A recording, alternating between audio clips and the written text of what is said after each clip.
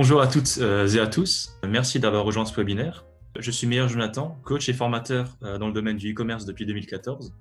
Et vous pourrez me retrouver à la fin de cette présentation sur ma page Facebook Seller Jump ou mon site internet seller-jump.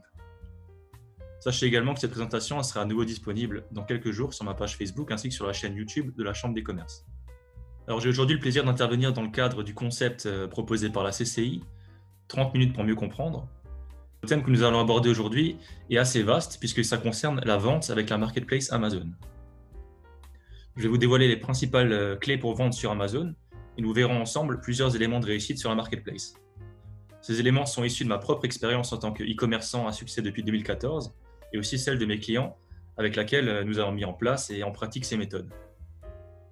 Alors voici notre sommaire du jour. Donc, euh, on va commencer par définir ce qu'est une marketplace ou place de marché en français.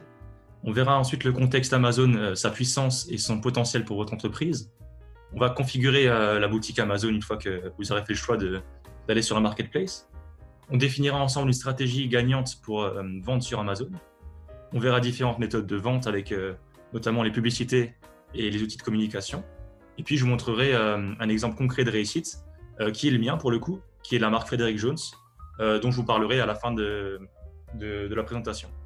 Puis si vous avez des questions, vous pourrez les poser également en fin de vidéo.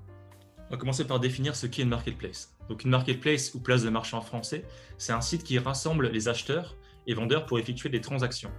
Alors sur la marketplace, on a différents acteurs. Donc on a les vendeurs euh, d'un côté qui sont euh, importateurs, fabricants, commerçants euh, ou autres. On a les acheteurs, pareil, qui peuvent être particuliers, professionnels, commerçants, e-commerçants.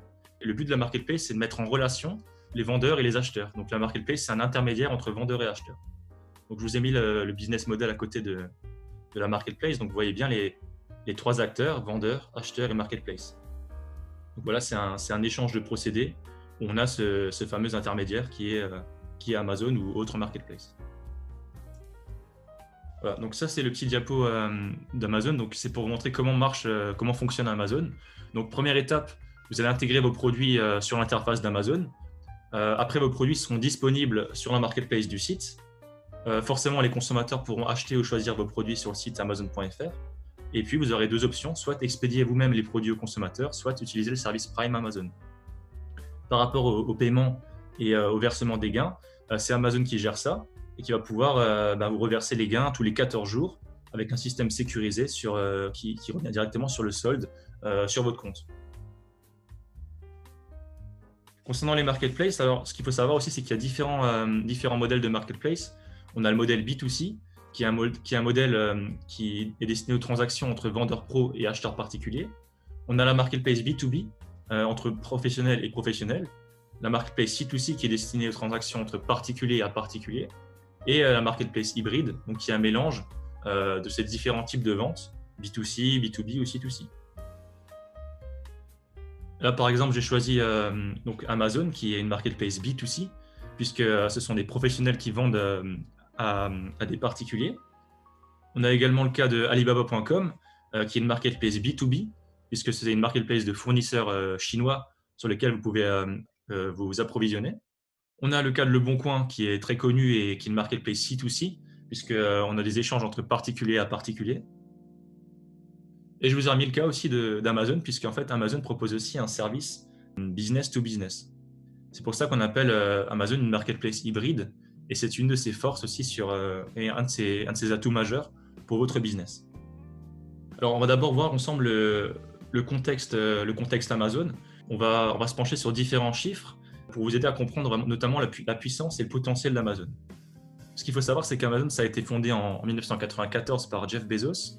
Actuellement, il y a 171 alors c'est au mois de novembre 2018, il y a 171 millions de visites sur Amazon.fr, contre 43 millions euh, un an auparavant. Donc on voit que le nombre de visites, il augmente tout le temps et voilà, c'est des statistiques qui sont énormes et qui sont encore amenées à évoluer.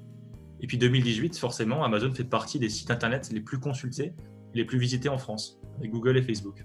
Donc on voit qu'il y a un potentiel énorme pour votre business, puisque un Français sur deux euh, utilise la marketplace Amazon. Ça vous permet forcément d'augmenter vraiment votre notoriété si vous travaillez avec Amazon et euh, vraiment mettre en avant votre marque et vos produits. Et puis, euh, forcément, on a, aussi l'outil euh, logistique, le service FBA qui est proposé par Amazon, qui fait partie des meilleurs services logistiques du monde. Et voilà, pour moi, c'est un service incontournable et je vais vous le présenter euh, juste après. Donc voilà la carte d'Amazon dans le monde. Donc on voit la présence d'Amazon avec les différentes marketplaces qui sont, qui sont utilisables. Donc nous, ce qui nous intéresse principalement pour commencer, c'est les, les, cinq marketplaces d'Europe. Donc on a la marketplace française, anglaise, allemande, italienne et espagnole. Donc lorsque vous allez créer un compte sur la marketplace française, vous allez pouvoir avoir accès euh, à ces cinq marketplaces. Et c'est pour ça que vous, allez pouvoir vendre dans toute l'Europe. Euh, c'est aussi ce qui représente un potentiel énorme pour, euh, pour votre marque et pour votre business. On voit qu'il y, a 140 centres de distribution, il y a plus de 180 pays et des clients Amazon. Donc voilà, Amazon, c'est, quelque chose qui, qui, parle à tout le monde. C'est sans faire l'apologie d'Amazon forcément, mais voilà, c'est, vraiment, un acteur qui est majoritaire dans le monde entier. Et autant, autant en profiter et aller avec, avec cet acteur. Également, oui, euh, bientôt les Pays-Bas. Euh, alors, ils sont déjà, en cours d'intégration. Et euh, voilà, c'est prochaine marketplace qui, arrive, c'est justement les, Pays-Bas qui vont sûrement aussi cartonner, comme le fait l'Allemagne et les autres marketplaces. Alors, je vous ai noté pour moi les principaux avantages de la marketplace Amazon, et puis aussi d'autres marketplaces. premier avantage, c'est que vous n'avez pas besoin de créer un site web. Puisqu'on sait que créer un site web, ça prend du temps. Euh, surtout lorsqu'il s'agit d'un e-commerce. Et non seulement euh, vous devez créer votre site web techniquement, vous devez aussi construire la confiance client euh, autour de votre boutique. Donc ça prend parfois des mois, voire des années. Alors qu'avec Amazon, vous pouvez tirer vraiment avantage d'une plateforme facile d'utilisation et commencer à vendre des produits en quelques clics sur le site avec des clients qui ont vraiment la confiance en vos produits grâce à l'image que, Amazon renvoie. Alors forcément, pour un site e-commerce, il faut générer pas mal de trafic et pour qu'il devienne vraiment profitable, tout le monde utilise Amazon et forcément, euh, moi je vous conseille de l'utiliser aussi puisque ça mettra vraiment en avant vos produits euh, rapidement et facilement. Euh, deuxième point qui est intéressant, c'est qu'on peut déléguer la logistique à Amazon. Parce que si on prend le cas concret d'un site de vente en ligne que vous gérez, vous avez forcément la partie logistique qui peut devenir rapidement chronophage. Justement, grâce à la logistique Amazon, vous aurez un gain de temps énorme et vous pourrez vraiment vous concentrer sur votre business. Et de plus, la, boutique Amazon, elle est ouverte en continu contrairement à un point de vente physique qui serait fermé le week-end ou pendant ce temps que vous partez en vacances. Troisième point que j'ai noté, c'est le, support client d'Amazon qui est vraiment irréprochable. Le support il est vraiment réputé pour sa qualité, pour sa réactivité. Euh, que vous soyez client ou acheteur, vous avez sûrement remarqué ça en, tant que client aussi. Euh, voilà, vous pouvez contacter le service euh, n'importe quand. Ils répondent vraiment à toutes vos demandes et questions. Et justement, c'est lorsque vous vendez sur Amazon, c'est aussi eux qui s'occupent du service client et du service après-vente. Donc, ils gèrent également les paiements et les remboursements à votre place. Vous êtes payé tous les 14 jours. Pour moi, c'est voilà, pour ça que ça, constitue vraiment un, moyen de, vendre en ligne et une marketplace euh, très simple d'utilisation et très très souple. Bien sûr, quand on parle de... Alors ça, c'est juste la, petite diapo que, Amazon a mis en ligne. Donc on voit les différents avantages. Euh, voilà, vous avez un nouveau canal de distribution, pouvoir euh, avoir une boutique dédiée, responsable de compte, des outils marketing, développement à l'international, donc c'est ce de ce qu'on parlait avant. Et puis euh, voilà, c'est vraiment un gain de temps pour votre e-commerce. Alors bien sûr, quand on parle d'avantages, on a aussi les inconvénients, c'est ce que j'ai appelé les règles du jeu. Vous allez avoir forcément des frais de vente, donc qui vont varier de 7 à, de 7 à 20% selon la catégorie du produit. Vous allez avoir des frais d'abonnement euh, mensuels, donc 39 euros euh, par mois pour un abonnement professionnel. On peut aussi être confronté à une guerre des prix, puisque plusieurs fournisseurs d'un même produit peuvent euh, générer une guerre des prix. Et puis, voilà, vous risquez aussi d'être dépendant à Amazon, puisque si, vous êtes, si vous êtes seulement sur Amazon en ligne, voilà, vous allez vite être dépendant du service.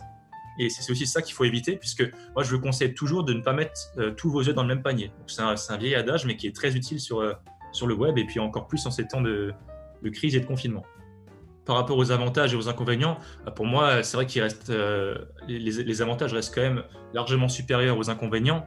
Euh, voilà, c'est des inconvénients qu'il faut accepter puisque voilà, en échange, on a une grosse visibilité, on a un service qui marche bien, on a un bon service logistique. Donc pour moi, les, inconvénients restent vraiment minimes par rapport aux avantages que procure Amazon. Alors maintenant que vous avez saisi le contexte et les principaux éléments qu'Amazon propose, on va pouvoir configurer votre boutique euh, c'est pour ça que vous allez pouvoir choisir tout d'abord entre différents plans d'ouverture du compte. Donc vous avez le compte basique, euh, si vous vendez un peu. Sinon, vous avez le compte euh, pro, qui est, vraiment recommandé si vous vendez plus de 40 articles par mois. Donc je pense que ça va vraiment être votre cas, puisque vous, voulez vous lancer à fond sur le sur l'e-commerce. La formule pro, qui est vraiment la plus avantageuse, puisque vous allez avoir des frais de vente qui sont définis juste par rapport à ce que vous vendez. Voilà à quoi va ressembler donc votre interface Amazon. Donc ça s'appelle le Seller Central. C'est la partie qui est, qui est, cachée où vous avez vraiment accès à, à tous les éléments comme la gestion des commandes, les messages clients, le coach des ventes. Alors pour vendre sur Amazon, on va avoir euh, besoin de différents euh, prérequis. Donc premièrement, ça va être euh, avoir des photos sur fond blanc. Donc là, comme vous le voyez, hein, on peut avoir des photos d'emballage, des photos directement en fond blanc. pas de photos en contexte, à part pour les photos secondaires. Actuellement aussi, ne pas mettre les photos avec un mauvais éclairage. Voilà, c'est des principes de e-commerce qu'il faut vraiment appliquer sur Amazon. Vous allez également avoir besoin de, de codes EAN ou UPC pour vos produits. Si vous souhaitez obtenir des codes EAN, euh, vous pouvez tout à fait les acheter sur le site GS1, qui est l'organisme euh, référencé et euh, national pour acheter vos codes EN. Donc ça, c'est obligatoire pour vendre sur Amazon. On va pouvoir définir la stratégie et mettre en place une stratégie gagnante sur Amazon. Pour commencer, il va falloir faire une veille concurrentielle. Donc c'est une veille concurrentielle que moi j'utilise avec différents indicateurs clés, comme vous voyez analyser la demande. Donc il faut d'abord s'assurer que la demande est réelle sur vos produits euh, et pour ça, vous pouvez vous aider des commentaires clients euh, de vos concurrents pour voir si vraiment une demande produit est susceptible de marcher ou non. Il va falloir aussi analyser du coup la concurrence. Donc, vous allez lister vos principaux concurrents, éventuellement euh, regarder les prix qu'ils pratiquent pour voir comment vous allez vous placer. On a également les, opportunités que voilà que vous allez vous allez vous demander comment est-ce que je peux surpasser mes concurrents, comment je peux faire mieux que puisque ça sert à rien de forcément de se lancer sur un marketplace si c'est pour faire moins bien. Votre but c'est vraiment d'aller sur un marketplace de proposer un meilleur prix éventuellement, un meilleur produit. Donc c'est tous ces éléments-là qui vont, qui vont devoir être pris en compte. Alors là, j'ai pris l'exemple justement euh, de quelqu'un qui vend des casseroles en inox. Euh, donc vous voyez, a différents indicateurs. Donc quand on tape le mot-clé casserole inox euh, sur Amazon.fr, on constate qu'il y a 5000 résultats. Ça veut dire qu'il y a 5000 annonces potentielles de casseroles inox, en plus de tout ce qui est vaisselle ou produits sponsorisés.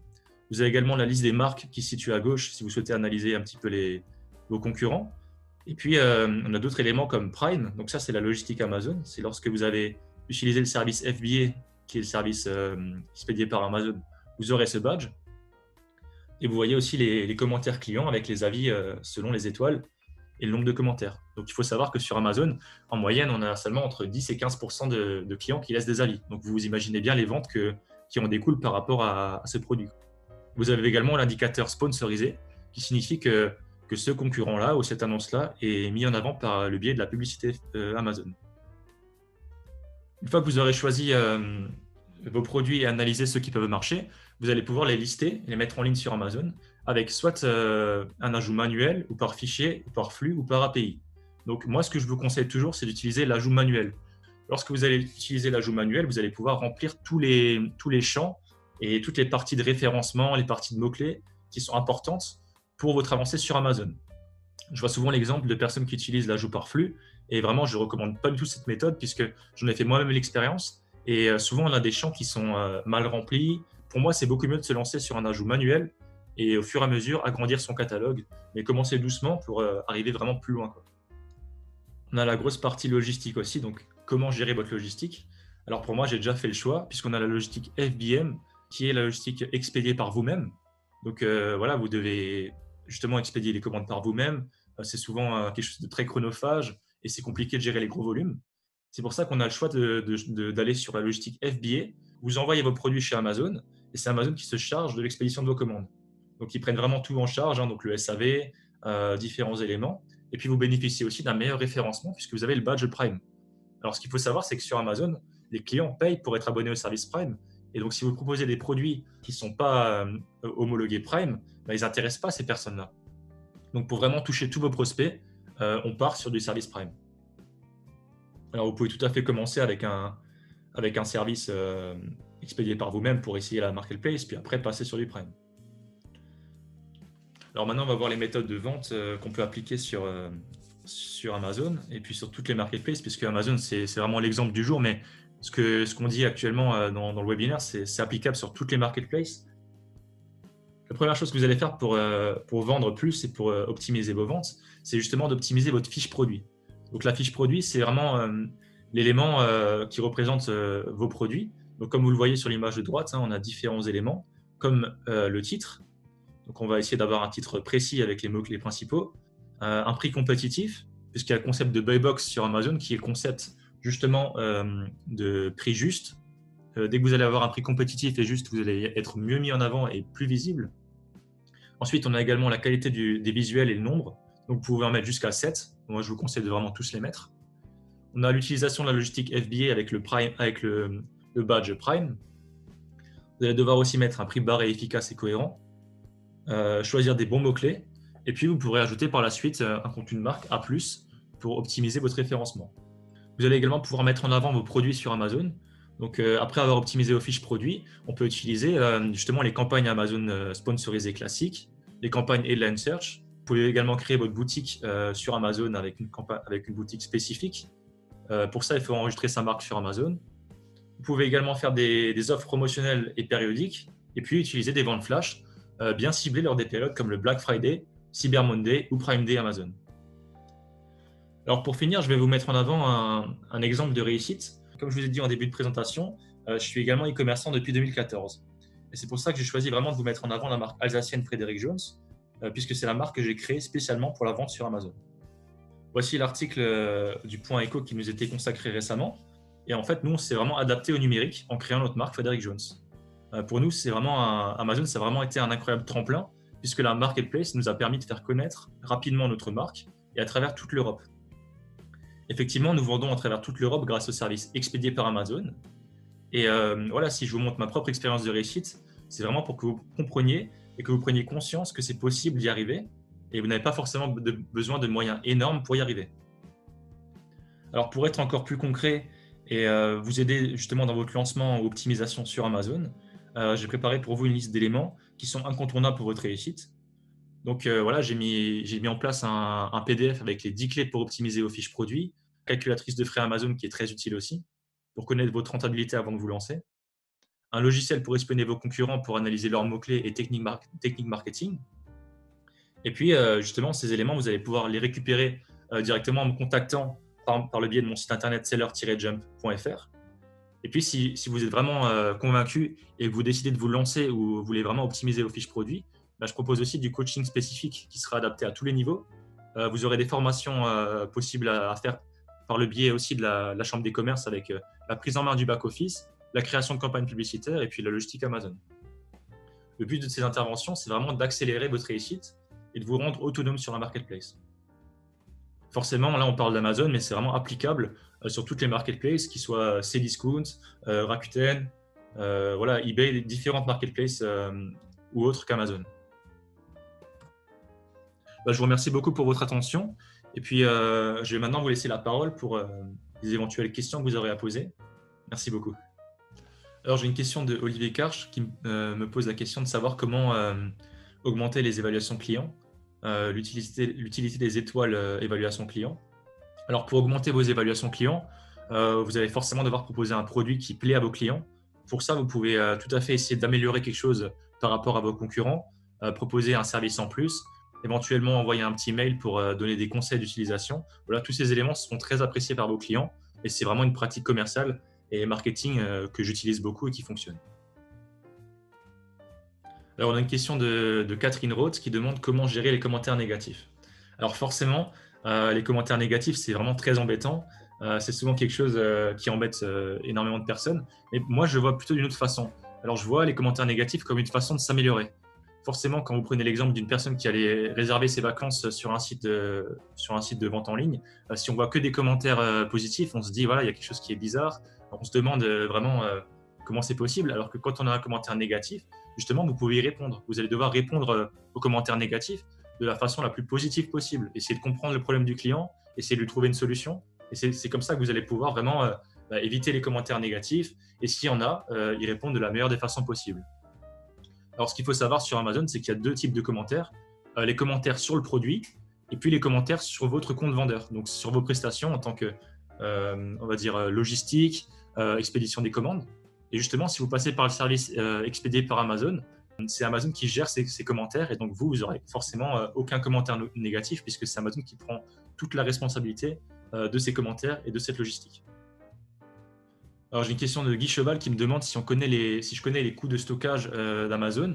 Donc ça, ça dépend vraiment du type de produit que vous vendez. C'est des produits volumineux, des produits de petite taille, tout ça, vous pouvez le retrouver sur le site d'Amazon. Mais si vous voulez, on peut aussi échanger directement par mail ou par, par téléphone. je serais ravi de vous répondre sur ces sujets-là. Oui, exactement. Donc Thierry Lotte qui nous écrit que les étoiles participent à l'obtention de la Box.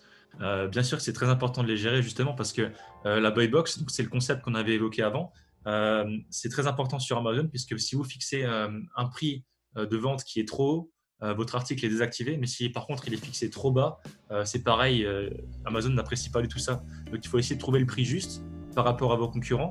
Et aussi, la buy box, c'est ce qu'on appelle la boîte d'achat avec le bouton ajouter au panier. Donc c'est si vous fixez un prix trop et que vous avez justement une, mauvaise moyenne d'étoiles, vous n'aurez pas cette buy box et vous aurez beaucoup moins de ventes et de conversions sur vos, fiches produits. J'ai une question de Paul Adam euh, qui me demande s'il n'y a pas un risque euh, qu'Amazon, au vu du succès du produit, soit tenté de, le copier et de le produire à moindre coût afin d'empocher la totalité de la marge. Alors, effectivement, euh, sur Amazon, il y a deux poids, deux mesures. Donc, c'est pour ça que j'ai une notion qui est très importante qui rentre en ligne de jeu, c'est la notion de private labeling. Alors, ce qui est important sur Amazon, c'est justement d'éviter de vendre des produits génériques que tous vos concurrents ou même qu'Amazon pourrait retrouver. Et si vous le faites, il va falloir apposer votre marque. C'est pour ça qu'il faut que vous créez votre propre marque et apposiez votre logo ou euh, sur, vos, emballages directement euh, sur, vos produits pour pouvoir vraiment protéger euh, vos produits et éviter toutes sortes de copies. Bien sûr, vous avez toujours tout à fait le risque qu'Amazon copie votre produit, mais une fois que vous, serez arrivé à cette, à cette, étape-là, ça veut dire que vous aurez déjà très bien vendu sur Amazon et que vous serez très connu. Donc voilà, je vous souhaite tout à fait ça. Mais forcément, euh, Amazon a toujours un œil sur nos ventes. Euh, c'est ce qu'il faut accepter aussi. Mais je pense que le jeu en vaut vraiment la chandelle. J'ai une question de Philippe qui nous demande comment se passe le, service FBA, donc expédié par Amazon? C'est ce que vous me dites, hein, il faut envoyer un stock préalable. Donc ça veut dire que vous allez devoir envoyer votre stock euh, directement dans les entrepôts Amazon. Et puis après, c'est tout à fait eux qui gèrent les commandes. Euh, lorsque vous avez des commandes, c'est eux qui gèrent la logistique. Donc c'est pour ça que le service il est, excellent puisque même quand euh, vous allez partir en vacances ou éventuellement être en week-end, vous avez une équipe Amazon qui travaille à l'envoi de vos commandes. Donc c'est vraiment un gain de temps énorme et ça vous permet de vous concentrer sur votre business et sur votre cœur de métier. Donc pour moi c'est vraiment une fenêtre sur le monde et c'est vraiment un service qui est irréprochable, qui permet à n'importe quelle marque de se développer très rapidement. Alors j'ai une question de, Paul Adam de nouveau qui, me demande la part de, chiffre d'affaires de l'IOSAC sur Amazon et si c'est vraiment dangereux ou pas. Donc euh, oui, avant j'ai parlé de la notion de, dépendance justement par rapport à la marketplace. Ce que je peux vous dire, c'est qu'il faut éviter de vraiment de, mettre tous ses, œufs dans, tous œufs dans le même panier.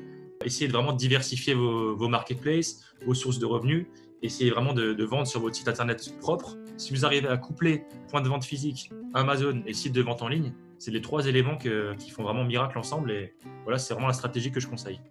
J'ai une question de Sandrine Core qui me demande si, lorsque c'est Amazon qui envoie, euh, c'est quand même nous qui rentrons la fiche produit. Alors oui, tout à fait. Vous avez le total contrôle sur votre fiche produit et c'est vous qui rentrez les informations. Vous devez optimiser cette fiche produit au maximum pour pouvoir vraiment attirer euh, un maximum de prospects et aussi euh, surpasser vos concurrents. Alors question de, de Philippe qui demande si les fiches produits sont traduites pour Amazon à l'étranger. Forcément, lorsque vous allez vendre euh, sur Amazon et que vous souhaitez accéder aux différents pays, euh, vous avez ce problème de traduction. Quand on fait confiance à Amazon pour la traduction, ça donne une traduction de robot. Donc forcément, ce n'est pas l'idéal pour euh, vos clients, puisque vos clients, c'est des humains. On va avoir un problème de, traduction souvent, puisqu'on a le cas sur des mots qui pourraient ressembler à, à d'autres sur des mots étrangers, et même sur les expressions. Donc il faut souvent repasser derrière ou bien traduire par vous-même afin de vraiment avoir un rendu propre et efficace pour euh, vos clients étrangers. Voilà, exactement, c'est ce que nous dit euh, MFR. Donc, euh, plus exactement, c'est le vendeur qui gère la page produit uniquement si le produit lui appartient. Et s'il est déjà vendu par d'autres vendeurs, bah, il n'est pas nécessaire de gérer la, fiche produit. Ça, vous avez deux possibilités sur Amazon. Soit vous vendez directement via votre fiche produit, vous créez tout de A à Z, c'est votre marque. Donc ça, c'est la méthode que je recommande. Sinon, vous pouvez très bien euh, vous placer sur une annonce d'un concurrent et puis vendre sur sa fiche produit. Alors attention, si c'est une marque qui est déposée, euh, si ce n'est pas un article générique, vous aurez sûrement des problèmes aussi avec la, avec la justice ou avec Amazon. Donc c'est pour ça que si vous, si vous repérez un article générique sur lequel il y a différents concurrents qui vendent, vous pouvez vous y intégrer et là, par rapport à ça, vous, vous, n'aurez rien à gérer. Mais il faudra aussi accepter que ces concurrents-là puissent vendre un centime moins cher que vous et euh, voir vos ventes se réduire. Donc l'idéal pour moi, c'est vraiment de, créer sa marque et puis de se lancer sur ses propres fiches. Alors, question de, Sandrine B, donc, qui me demande si je, lui conseille de, se lancer plutôt en entreprise, donc auto-entrepreneur ou société. Alors, moi, ce que je conseille, si vous démarrez de zéro, si c'est votre une activité qui est nouvelle, commencez en tant que, en tant que micro-entreprise et pour tester le marché, pour voir un petit peu les retombées que vous avez. Et une fois que vous voyez que les ventes commencent à s'accélérer, ce qui va arriver si vous faites les choses correctement, forcément, après, vous allez pouvoir passer en société et passer sur un autre type de statut juridique.